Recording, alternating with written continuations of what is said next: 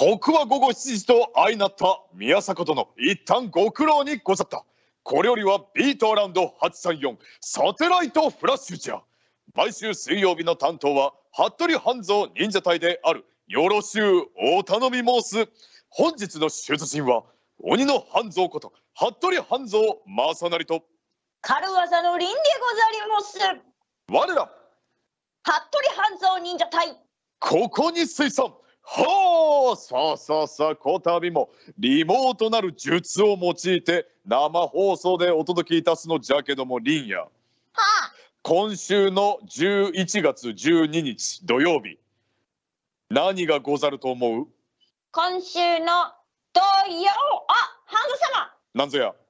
名古屋城検あさよさよ名古屋城検定ということでの我が隊からはの延期丸と善が受けるとこの検定を受けると定。いうことでご。ざります。いや、半蔵様はうんうん。上級をお持ちということで。さよさよ一応なわしこう見えても上級持っておるのじゃわしかも50分の48。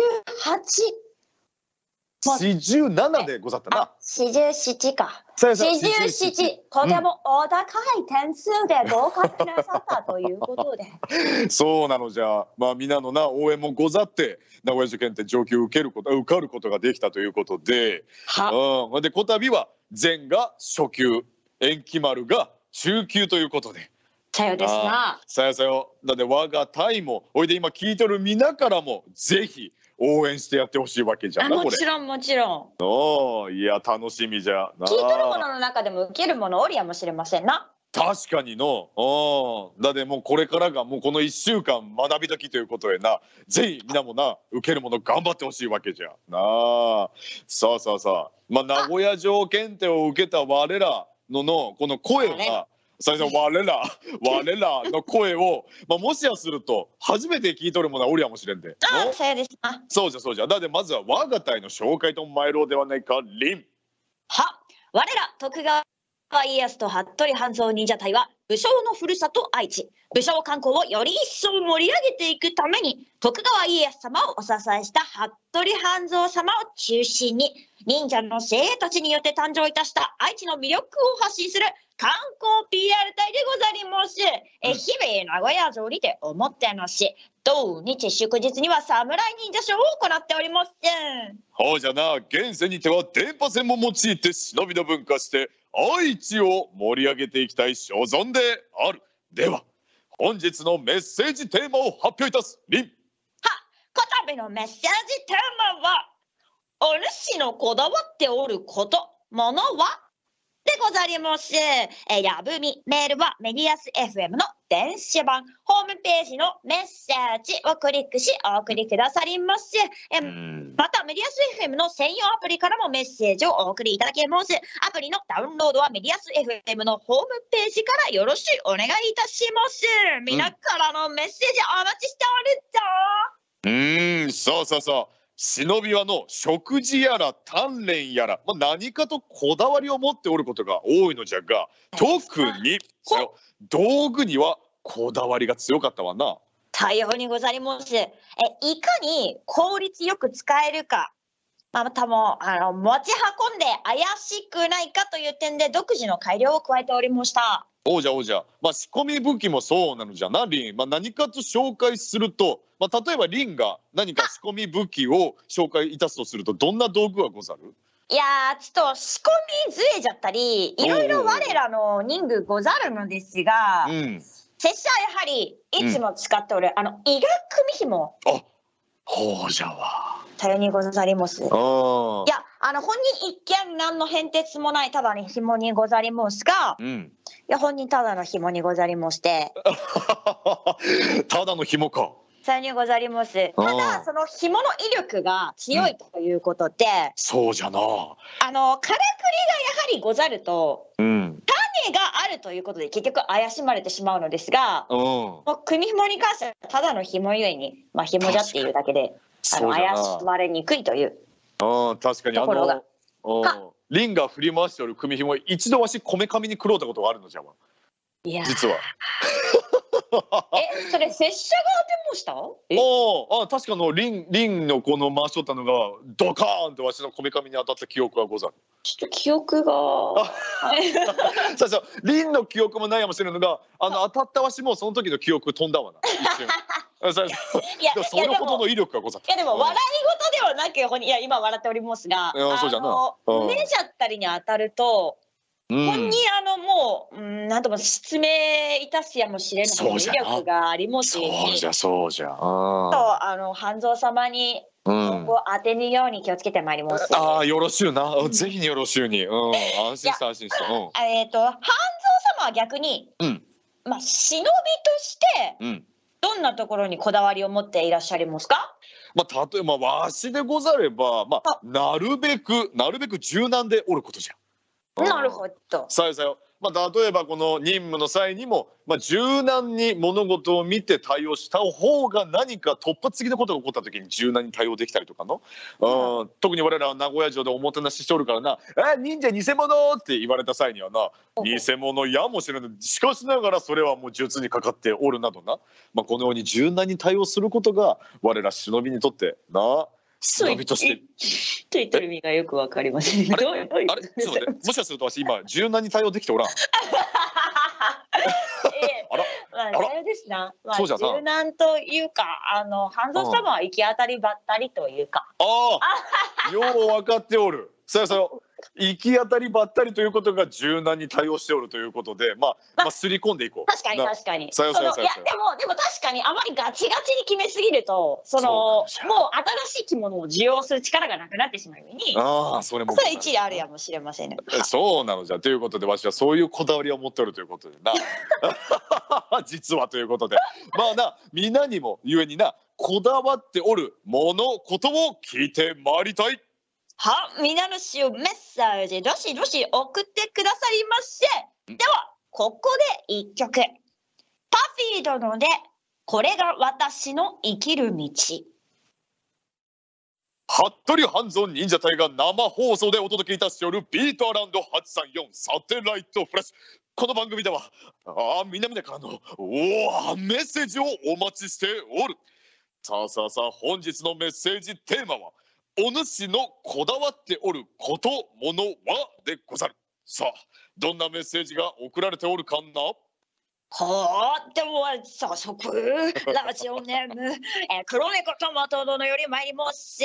うまい 半蔵様、忍者隊の皆様、こんばんは。こんばんはじゃさて本日のお題、お主のこだわっておることものは、強いて言うなら、うん靴は必ず試着してから買う。私の足は幅広高高なのでサイズが合っていても、メーカーによっては窮屈だったり歩いていると痛くなったり自分の足に合っているかどうか履いて確認しています。うんうん。おかげで通信販売で靴だけは買えないんですよね。ということにございます。ああ旅のやはり旅というのは日頃の生活を支えるものじゃから。あーだってチートでも泡なんだりとかいたすとの靴ずれを起こしてチートな。さようですな。確かにいたしたり。うん。半蔵様この通信販売なるものを利用することありますか、これのわし現世ではこのからくりを使おうって確かにこの指で変えるってことはいたしたことござるのじゃ。うん。しかしながらこの黒猫トマト殿が言っておるこの旅というのには買ったことござらんのじゃ。誠にござりますか？さよ。ほんでその思いは一緒。このものと。おー。履いてしかと合ったものを見つけてあの買うということをいたしておるから分かるのじゃこれ。逆に足はちょっとわかるのですが、うん。主張族はいかがにございますか？このん上着族じゃった。りしょええしょ装族あ装あ束な？装束すまんすまん。すまんわしの耳が今劣らんかった。すまんなあそう装束 か装束ものわし買うたことござらんなやはり。あさようにござりますか、うん。やはりちょっとあのわしあのまあ自慢するように言うんじゃけどもちょっと筋肉質じゃから。うんでは続いてのお便り参ります。おおーどこが行ってもうた リンがどこが行ってもうた？あえー、ではうんえー、えー、で すか？あええよええよ、えーラジオネーム、ういちろう殿より、うんおう一郎殿。うん。えー、服部ハゾ忍者隊の皆様こんばんは。こんばんはじゃ今日のメッセージテーマですがこだわっていることといえば、うん。妻と出かけるときは、うん。立つ時も座る時も可能な限り妻の左にいるようにしているということです。ほうほうほう。なぜなら自分より妻の方が優れていると思っているからです。ほう。右に出る者はいないという言葉があるので、右に出ないように気をつけているのです。あだって言葉のまんまこのものは実践しとるということか。え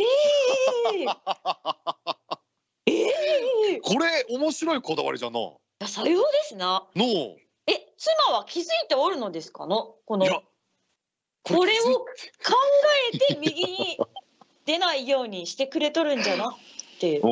いやこれ気づいておらんのじゃないかええおそらく。いやでうん。もこういったその見えないこだわりのようなものがうん。やはりその後々のその関係に大きく響くような気もします、拙者。そうじゃな確かになあうん。これができるということは表面的なところも気遣っておるということじゃと思うように、そういうことじゃ。んうん。あ素敵ですななかなか。うん。だって中中むずましいのじゃと思うわこれ。むずまじい。あれ？むずまじいでおったよな合ってるむずまじい。は、むずまじいで。うんあずさまはなんじゃ？は、むずまじいでと思います。は、あ、ちょちょちょ、リン、ちょ違うのか、わしのこと。続え、え、え、大丈夫か？わしの言葉間違ってるでは続いて、あ、続いていく？続いていこうか？うん。ラジオネーム、うん。えー、高尾由樹ロロ拙者の大学院の先生。えー、えーっと、高尾由樹ロロはうん。朝4時に起床します。おお。職場に早めに出勤します。あ、以上か。以上。以上。はい、以上にございます。あ、えらい簡潔。あー、なるほどな。朝以上も忍びでござるがな。高尾殿、さすが。ああ、ああ、さようですな。我らと同じような。そうなのじゃん。うん。ほんで、士官先、任務先に早めに行って。何しておるんじゃろう。早めに行っての。気にないる。やー、別に何でもええですが。え、え、え、えリン、リン、リン、掘ろうぞ。そこ、掘ろうぞお。りますかいやいや何でもよかったよそれ掘ろうぞこれわし気になるもんのいや、そしたら別に高尾先生が何してようと別にどうでもいい。ええちょっと待ってちょっと興味持とうぞえお主の師範なんじゃろもうちょっとう。んもうちょっと興味持たぬかえあ、じゃあ、は、持ちます。え、何をしとると楽しいと思いますか、ハンデ様。えわしに聞いてきたのだって高尾殿が 高尾殿が職場あー4時に起きて職場行った時にはおそらくおそらく高尾殿がかけておる眼鏡を磨いておる。続いての。ちょっと待って流行りなのか？それ。の流行りか？さっと言ってしまうの。えー、悲しなるぞわし。泣くぞそろそろ。ええのか？では、えーうん。続いて、ラジオネーム、うんえ、服部隆弘殿より。うんわしと名字同じは、えーお久しぶりでございます。おおあまり嬉しくないのでございますが、うん。来週、うん。46回目の生誕日を迎える服部隆弘でございます。おめでとうございます。あ執着至極。うえーこだわっておることは、おう。うん、そうですな、本名とラジオネームを使い分けることでございますね、と。ほあうなるほど。いいね。といううん服部隆弘殿というのは、あの、うん現世でもおるような名前にござりますが、うん本名ではないということですな。ああそういうことか。だって今この服部隆弘殿はこの本名ではなくラジオネーム。だって他に本名がござるということか。おそらく服部隆弘殿というのは本名ではないということで、ああこの服部隆弘というのはこのラジオネームでござるということか。いや、おそらく服部隆弘違う違う。いやねえねえねえねえ。もう服部もうわしとリンがもう服部隆弘って言いたなっとるだけ。もうこれ。もう46回今言おうとしてるんじゃないかこれ。このものの。あの様ではここあえてうん。服部隆弘殿の本名を当ててくださりませ。ああなるほど。だってまあおそらくは服部というのはまあ合っとると思うわ。本名じゃと思はううん。だから高弘がちと違うやかもしれん。あ、あでは何というお名前にござりますか？服部高成とかな。ああ服部高成。ああじゃと思う。だ例えばまあリンリンリン。助けてリン助けておく。の上演救援求む。では 服部隆成殿ありがとうござりました。いやこれ服部ののが話になるぞおそらく今の。いや、え？いや本人あの皆にはいやさよですな拙者。あの半蔵様はさっきから流しておりますがうん。逆にやぶみをくれた者に申し訳ない気持ちが少ししてきております。もう申し訳ないような急に反省しだした。なうんだってもうこれはもうとりあえずは服部高弘の生誕日をもう祝おうではないか。いやおめでとうござりましめでたき来週めでたき。おめでとうござる本名教えてな。では続いてのお続いて便り参ります。参ろえー、ラジオネーム、肥前安藤の、あ、う安納肥前安蔵殿よりいつもありがとうござる。ありがとうの？お えー、半蔵様リンドのこんばんはでござる。こんばんはじゃ。昨夜の月食、美しく神秘的でござりました。あえー、今日この頃いかがお過ごしでしょうか？元気しかない、うん、本日のメッセージテーマのお主のこだわっておること、ものはでござるが、うん。靴磨きでござる。あ人は足元からその人のことを見ると言われてからは靴をしっかり磨くようになりました。うん。そのおかげで運も開けたような気もしますし、なんだか明るい気持ちにもなれたような気がします。うん。ですが、家に押し売りのごとく、奥方や父、母の靴も磨くようになり、家族が幸せでありますようにと願いながら磨いており、おー。お、うん。靴磨き楽しいですぞと。これは素晴らしいことじゃ。いや、素晴らしいですな。そうじゃだってまあ要はまああらゆる見方ができるような旅が汚いというのはのあ爪が甘いとかのうんだってそういうところを見られがちだけどもしかと旅も先々まで綺麗にしておるということはしかとしておるという、まあ、まず印象を与えることができると思うのじゃ。確かに、おしゃれは足元からというような現地の言葉もござりますように。そうなのじゃ。ああ。ほいでこれ素晴らしいのがじゃよ。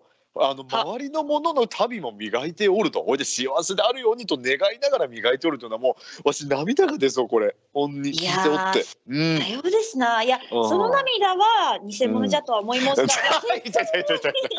それはいちいち言わなんでええんじゃわ。の？それはまあ偽物、まあ、心は泣いておるぞしかと感動しておるの？涙は確かに出ておらん確かに快適ですな？おさ確かにな皆既月食。半田様は皆既月食見られましたか、あ見たのじゃ実は。あ見た。誠にござりまうん。あの欠けておる様。ほいでしかと欠けておる様。ほいでかけかけ去る様をし見た。ああ、さぞ神秘的で。ああさぞ神秘的でと。うんござったぞ。うん。で今靴磨くか？ああ、靴の方にござりますか？皆あ既月食見たかではなく。さよさよさよ。靴磨くか？いやー、拙者は靴は、あの素材にもよりますな、靴は。あそうじゃよなあまり拙者はその現世の革靴のようなものはやはり履かぬゆえに、うんうんうんうんうん足袋を磨くことはないですな。そうじゃよな。我らの場合雨で綺麗になる場合もござるでな、うん。まあ雨でも洗い流すという。そういうことじゃようんな。いなやるほど。でも本うん。人この姿勢は見習いたいと思いました。そうじゃな。ああ、我らも見習おうではないか。うん、ありがとうござる。ではうんもう一つ行こう。いいですか？うん、参ろう参ろではラジオネーム、ん。白ヤギメイドのより、う。うん、えー、半蔵様りんちゃんこんばんは。こんばんはじゃ。秋晴れがとっても気持ちいい日でしたね。うん本日も出陣お疲れ様です。うん、えさて私のこだわりですが、うん、食事の前と後には一人でいても外食でも、うん必ずいただきます。うんごちそうさまでしたを手を合わせて言っています。うん。なんか言わないと気持ち悪いんですよね。うんハンド様りんちゃんちゃんとやってますか？とね言っておる？拙者はうん。基本的に腹ペコで食い始めますように、あのいただきますの時間も惜しくていつもっておりません。いやいや、えらいせいておるな。相当す切羽が詰まっておるということか。それ拙者もし犬じゃったらは。絶対待てができません。ああ、なるほど。もう食べてまうのじゃ。がもう目の前にあったら待てって言われても食い申す。でもある意味それは食事を提供してるものからしたら嬉しいかもしれんな。あ、そこまで食べてくれるということで。ああ、それにございますか？あ、うん、やもしれん。うんいや、行儀悪いかなと拙者は思ってはおりますが。あえ、逆に半蔵様は実はか、うん、わしは、あ、こたび言っとらんな。いや、言わぬ時と言う時がござるわ。確かにあ。でも、どういう時に言って、どういう時に言わぬのですか？なんじゃろうな。何も意識せんと、ああ、腹減ったな。リンと似とるやもしれん。腹減ったなと思ってた食べておると、言っておらんやもしれん。あ、確かに食欲が、本能が勝ってしまって。そうじゃ。そうなのじゃ。ああ、今思うとの。ああ、だいやって、でもしは、うん。なんじゃ？うん。どうぞ。はい、これででしかしながらこの鹿といただきますごちそうさまというのは作っておるもののあの例えばその米や野菜を作っておるものでそれを料理しておるものとかのこの感謝の気持ちも込めてで命もいただいておるということでいただきますごちそうさまと言っておるというのはまた素晴らしいのともう我ら見習わでもならんぞこれは。確かに。故に拙者今言います。あいただきます。あでは。いやごちそうさまは言わんのか？ごちそうさまは言わんのかこれ。あ、あ、それです。うん。いや、でも、うん。拙者は何も食っとらんわと思いました。いやいやいや急に冷静になるでないそこ。気持ちで言おうぞそこはな。ああそうか。いやいやこれええええやぶみじゃこれええわええわありがとうさんありがとうさん。学んだわな。あそうそうそう。まああらゆるものからなこのこだわりっちゅうものを聞いてまいった。まあこの個人の感性や思い入れに基づいたものじゃからな、まあ、大切にしておると思うでな。しかとそれはしかとの大切にしてあのこれからもな邁進してまいるわ。ええと思うわしはな。あええと思う。うん。さあさあさあさあ。ではここで一曲聴いてまいりたいと思う。こだわりやおもてなしなど日本の良さを歌う曲「ケツメイシ殿」で「メイドインジャパン」ビートアラウンド834サテライトフラッシュ午後7時から30分間の生放送で服部半蔵忍者隊がお送りしてきたがそろそろしまいの刻なのじゃこたびは皆のこだわりを聞いてまいったがこだわりが強いからというて、まあ、気にすることではござらぬぞ自らの軸がしかとあるということじゃからなそうですな。こだわりの強さともうまく付き合っていけるとええですな。ほうじゃほうじゃさあさあさあこのように毎週忍びに関する知識を交えながら楽しく皆と交流してまいるでなよろしゅうお頼み申すあ、この放送を聞いて忍者に興味が湧いたよっちゅうものはぜひ服部半蔵忍者隊で検索してくだされ。ホームページに出陣情報がござります。その他、Twitter、Instagram、YouTube、TikTok、Facebook など各種電子網を通じてかっこええ忍者の姿、我らの活動の様子を発信しておりますがゆえにぜひご覧くださりませ。なお、たくさんの方からメッセージを頂戴いたしましたが、時間の都合上すべては紹介できなかったがゆえにラジオネームだけでも紹介させていただきます。ん魚塚ドンシュ殿、ゆかり殿、いつも明るいみほにゃん殿、えー、行さんのメッセージ誠にありがとうございました。んありがとうござった。では来週のメッセージテーマを発表いたす。来週のメッセージテーマは増やしたいと思うことものはでござる。メールはメディアス FM のホームページにあるメッセージボタンから、またメディアス FM の専用アプリからもお送りいただけます。皆からのメッセージをお待ちしておるそしてこの放送はメディアス FM の YouTube チャンネルにアーカイブとしてアップされております。メディアス FM YouTube で検索いたしぜひ確認いたすのじゃそれではこの後を再び宮坂好み殿のビートランド834でお楽しみあれここまでのお相手はわし服部半蔵忍者隊の服部半蔵と軽技のリンでござりました。最後はこの曲にてドロン。こだわりや情熱で切り開いてゆけと頑張る人の背中を押す大友康平殿でライス。皆の衆また来週聞いてな。ちなみに中のええことは仲睦まじいというらしい。